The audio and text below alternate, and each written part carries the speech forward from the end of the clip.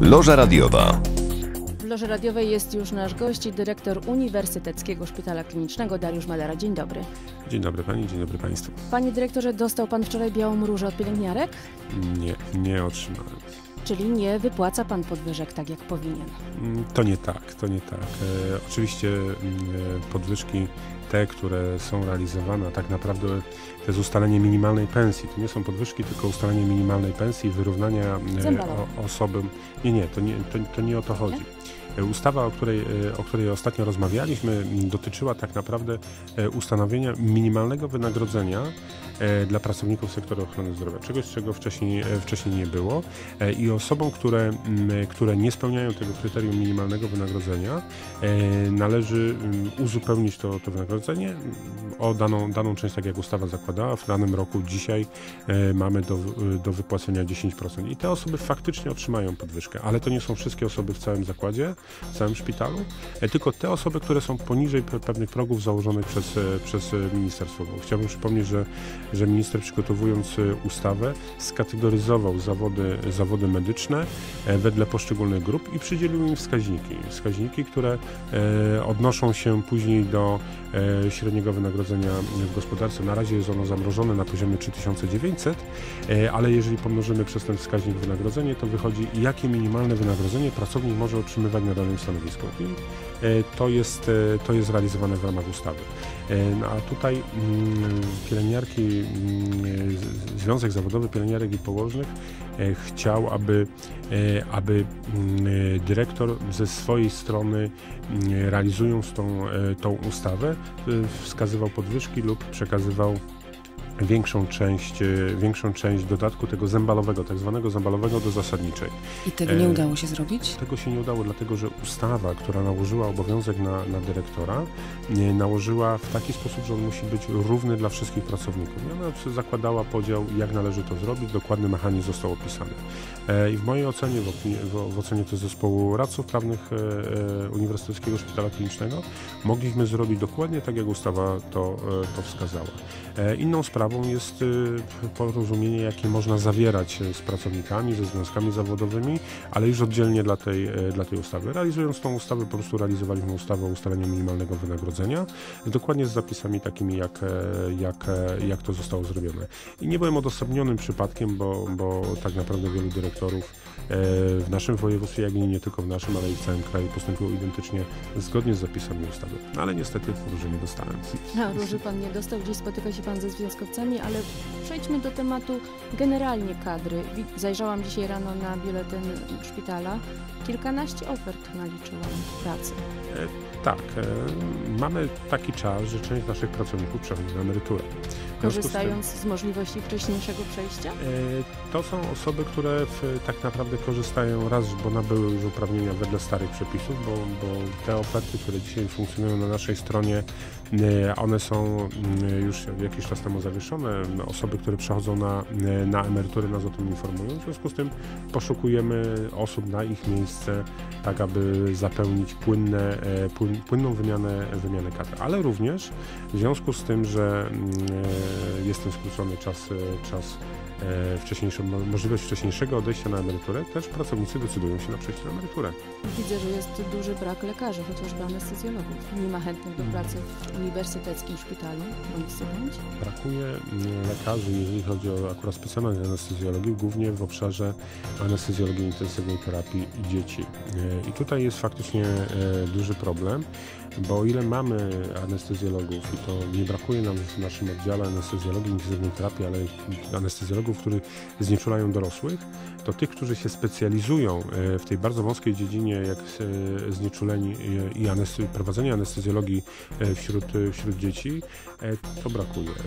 I poszukujemy takie, takie osoby i w tej chwili sprowadzamy spoza, spoza województwa. Pomimo tego, że mamy własnych anestezjologów z wystarczającą ilość, to tutaj w tym obszarze no ci anestezjolodzy nie chcą się podejmować, podejmować tak trudnego, trudnego elementu, jak jest jednak praca z tym, e, tym najmniejszym naszym pacjentem, bo to są noworodki, to są dzieciaki, które trafiają zaraz po porodzie, więc to zupełnie inne, inne zasady, inaczej trzeba podchodzić do tych, do tych dzieci. To muszą być e, anestezjolodzy, lekarze, którzy e, tak naprawdę mają powołanie akurat do tego, do tego obszaru, a tych osób jest, jest mało. W związku z tym takich też poszukujemy. Do rozmowy z naszym gościem wrócimy za chwilę. Przypominamy, że naszym gościem jest e, szef Uniwersyteckiego Szpitala Klinicznego, pan Dariusz Madera. Czy zdarza się panu jeszcze mówić, że szefuje pan WCM-owi?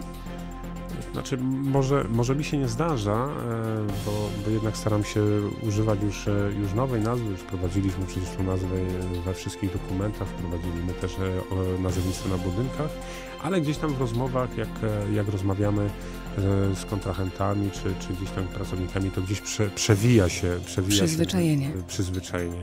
Ja mam może troszeczkę krótsze to przyzwyczajenie do tej, do tej nazwy, ale u osób, które dłużej, dłużej pracują, jeszcze, jeszcze spotykamy się z, z, z tą nazwą.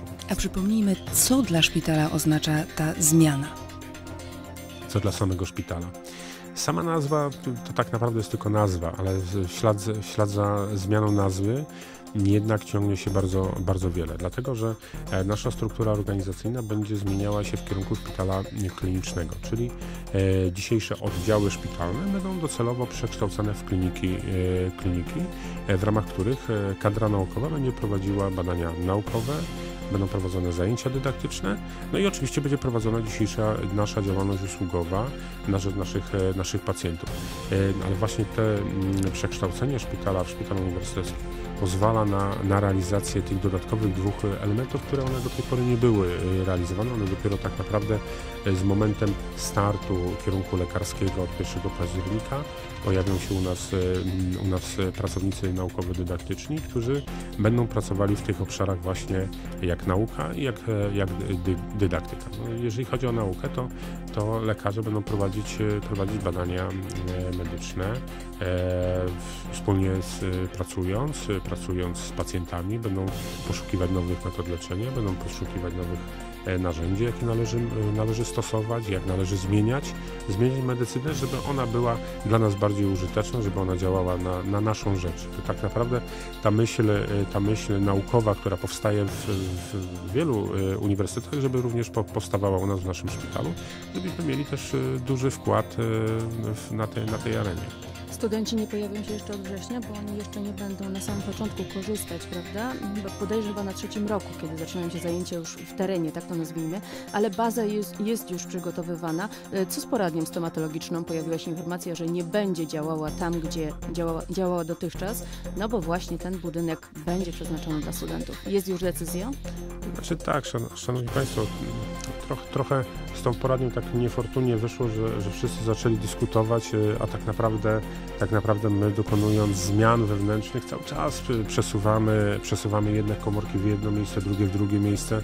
I tutaj trzeba się spodziewać, że jeżeli powstaje mm, e, zupełnie coś nowego, a szpital uniwersytecki pomimo tego, że przekształcamy e, dawny Wojewódzki Centrum Medyczne zostało przekształcone w szpital, szpital uniwersytecki, to tak naprawdę potrzebuje jednak wielu nowych, nowych elementów to będzie powodowało e, wiele zmian wewnątrz. Będziemy przenosić różne, e, różne nasze działalności z budynku w budynek, tak aby e, jak najlepiej zorganizować.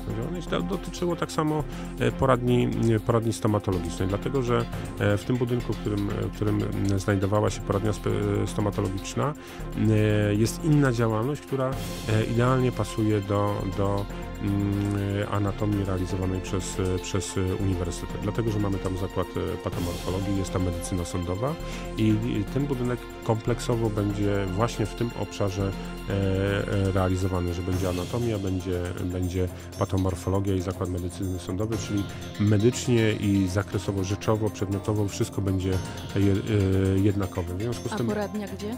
Jest przeniesiona, tą poradnię przenosimy w tej chwili do budynku głównego poradni specjalistycznych tam gdzie, y, tam, gdzie są inne, inne poradnie, tak aby zapewnić pacjentom bezproblemowy, bezproblemowy dostęp. No jakoś, jakoś to trzeba tak poukładać, żeby jednak zmiany, które, które wy, wykonujemy, a w ślad za tym przecież będziemy wydatkować środki e, finansowe, żeby one były tak naprawdę sensownie e, wydane. Dzisiaj, dzisiaj w mojej ocenie, w ocenie władz, władz uniwersytetu właśnie ten, ten budynek idealnie nadaje się na stworzenie, stworzenie anatomii, tak aby studenci, którzy trafią, żeby mieli możliwość pracowania w jednym miejscu, żeby nie musieli, nie musieli niepotrzebnie biegać, biegać z budynku do budynku. A ta samej poradni mamy przygotowane dzisiaj pomieszczenia, które, które są adoptowane i, i ta, ta działalność będzie, będzie jednak już w innym miejscu. Dodajmy jeszcze, że zmiana statusu szpitala powoduje, że szpital może się ubiegać o środki, o które wcześniej nie mógł aplikować. Tak, e, i z tego skrzętnie skorzystaliśmy, bo e, już w tamtym roku wysłaliśmy wniosek do e, programu operacyjnego Infrastruktura Środowiska, który jest w gestii Ministerstwa Zdrowia. Aplikowaliśmy o środki na wymianę i remont oddziału kardiologii i kardiochirurgii. I tak się złożyło, że otrzymaliśmy ponad 3,5 miliona złotych na, na, na właśnie zadania związane z naszym oddziałem, wynikając bezpośrednio już z tych kompetencji Szpitala Uniwersyteckiego. Wtedy jeszcze byliśmy na takim granicznej sytuacji, bo E, jeszcze nie byliśmy tak do końca przekształceni, jeszcze to wszystko było takie, takie w wysokiej fazie przygotowania, ale e, jak się okazało spełnialiśmy już te kryteria niezbędne do tego, aby aplikować ośrodki, unijne. Złożyliśmy wniosek, wniosek został pozytywnie oceniony e, i uzyskaliśmy dofinansowanie i teraz będziemy realizować te zadania już, już na rzecz naszych pacjentów. Sądzę, że pacjenci dosyć szybko odczują wymianę sprzętu na kardiologii, kardiochirurgii, bo przecież te, te, te nasze oddziały są bardzo, bardzo oblegane przez przez pacjentów e, i, i ten sprzęt, który zaraz zostanie zakupiony, będzie bezpośrednio służył e, tej działalności e, naszej dzisiaj usługowej, ale i tej dydaktycznej, bo studenci, którzy do nas trafią, też będą z tego korzystać. Sytuacja win-win, wszyscy wygrywają. Naszym gościem był dzisiaj szef Uniwersyteckiego Szpitala Klinicznego. Mnie też jeszcze ciągnie do starej nazwy. Pan Dariusz Madera. Dziękujemy ślicznie. Dziękuję. Loża radiowa.